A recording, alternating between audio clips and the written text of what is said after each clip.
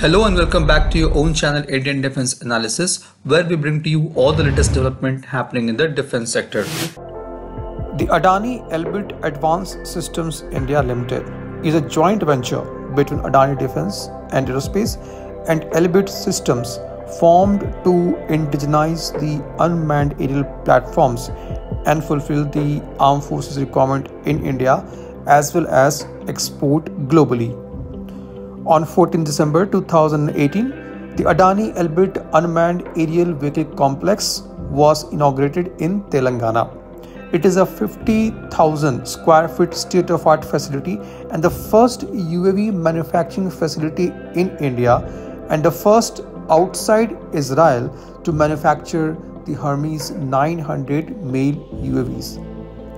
The factory started its operations with manufacturing of complete carbon composite aerostructures for Hermes 900, followed by Hermes 450 catering to the global markets, and it will be further ramped up for the assembly and integration of complete UAV system. So far, more than 20 drones has been exported by this complex to Israel.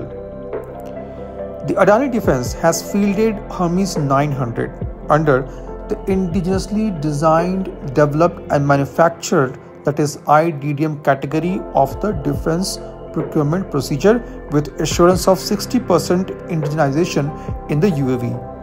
Under IDDM category, the equipment with 40 or 60% indigenous content are considered for acquisition.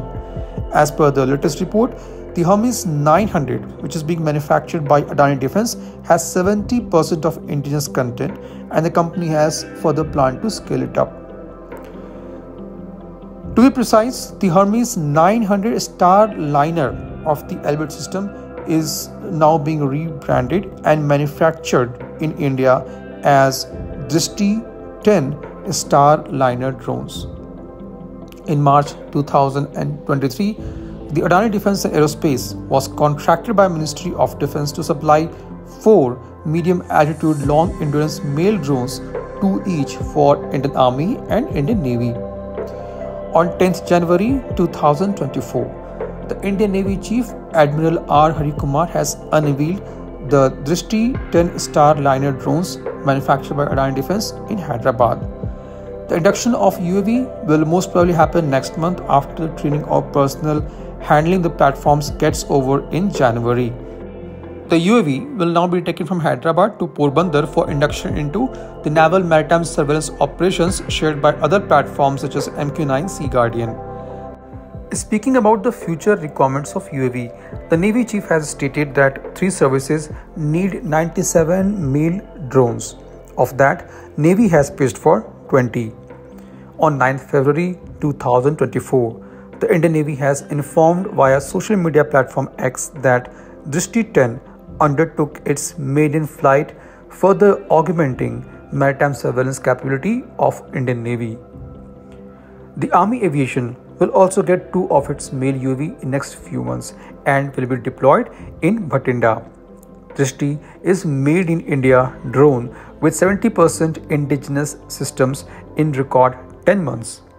Adani Defense has also exported around 20 of these drones to various international customers. Talking about the capabilities of Drishti 10 Starliner, these UAVs are going to be an advanced intelligence surveillance and reconnaissance platform. It features over the horizon persistent multi-mission multi-sensor capabilities with high bandwidth to stream of multiple sensors in real time and a class-leading payload carrying capacity. Its electro-optical payloads include multi-spectral payloads and laser designator. The other payload includes SAR or GMTI radar and MPR maritime radar, electronic warfare payloads, electronic intelligence and communication intelligence payload. The UAV has maximum takeoff weight of 1600 kg, maximum payload of 450 kg, endurance of up to 36 hours, and service ceiling of 30,000 feet. It is also the only all-weather UAV platform that can fly in both segregated and unsegregated airspace and has NATO's STANAG 4671 certification for the UAV system's airworthiness. This was today's update. Please let us know your views on this in comment section. If you like the video, do not forget to like, share and subscribe. With this, I would like to say goodbye and Jai Hind.